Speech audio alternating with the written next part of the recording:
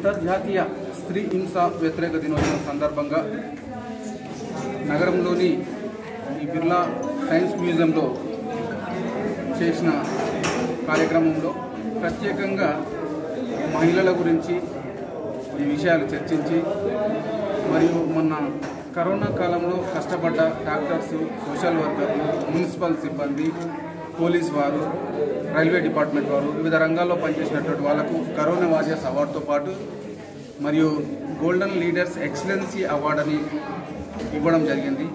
ఈ యొక్క అవార్డు కార్యక్రమానికి పలు కేటగిరీలకు సంబంధించిన వ్యక్తులు హాజరు కావడం వాళ్ళ అవార్డు తీసుకోవడం అవార్డు తీసుకున్నంత మాత్రాన వాళ్ళందరికీ ఏదో వస్తుందని కాదు.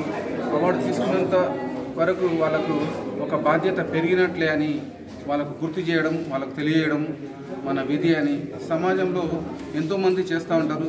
ప్రభుత్వం కూడా కొన్ని కార్యక్రమాలు చేయాలంటే వాళ్ళకు ప్రభుత్వానికి స్వచ్ఛంద సంస్థల సహకారం అందించాలని ఆ సంస్థలకు స్వచ్ఛంద కార్యక్రమాలకు మనం చేయూతనిచ్చి ఈ యొక్క సమాజాన్ని ఒక రకంగా శాంతి అభివృద్ధి పదంలో నడిపించడం కోసం ముందుకు తీసుకెళ్తున్న మాకు వివిధ పక్షాల నాయకులు వివిధ సామాజిక కార్యకర్తలు డాక్టర్స్ ఇలా చెప్పుకుంటూ పోతే చాలామంది సమాజంలో సహకరిస్తారు.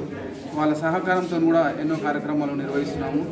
ఈ యొక్క అవార్డుల కార్యక్రమం కాదు వాళ్ళకు ఒక బాధ్యత నెత్తిన పెట్టిన కార్యక్రమాన్ని మేము గుర్తు చేయడం కోసం వాళ్ళ ఒక ఫంక్షన్ ఏర్పాటు చేసి వీళ్ళకు ఇవ్వడం జరిగింది. దీంట్లో మన తెలంగాణ ఆంధ్రతో కాకుండా పక్క రాష్ట్రాల కర్ణాటక ఒరిస్సా రాష్ట్రాలకు చెందిన కొంతమంది సామాజిక కార్యకర్తలు కూడా అవార్డు ఇవ్వడం జరిగింది. దీనికి మాకు సహకరించిన మన ఆర్గనైజేషన్ ప్రశాంత్ గారు మరియు నాగేష్ విష్ణు ప్రకాష్ సాయి కృష్ణ మరియు చాలామంది లలిత ఇట్లా చూసు చెప్పుకుంటూ పోతూ ఉంటే ఇట్లా ప్రేమరాజ్ అని అంటే మా కార్యకర్తలు ఇంచుమించు సుమారుగా ఉంటారు ఒక ముప్పై నలభై మంది కార్యకర్తలు. వీళ్ళ సహకారంతో కూడా నేను ముందరికెళ్తున్నాను ఇలాంటి కార్యక్రమాలు నిర్వహించాలని మరియు మనకు ముఖ్య అతిథులుగా హాజరైన మన Telangana film chamber chairman Ramakrishna Goud మన ఎక్స్ ఎంపీ కానీ సముద్రాల వేణుగోపాలాచారి సినిమా నటులు మరియు మాణిక్ గారు మరియు వంద సినిమాలు నిర్మించిన cinema director and producer Tummalapalli Rama Satyanarayana garu.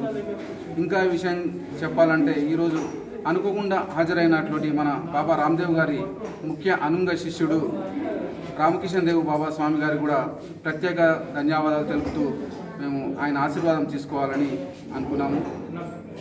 కార్యక్రమానికి హాజరై మన స్వామి గారి ఆశీస్సులు కూడా తీసుకోవడం జరిగింది.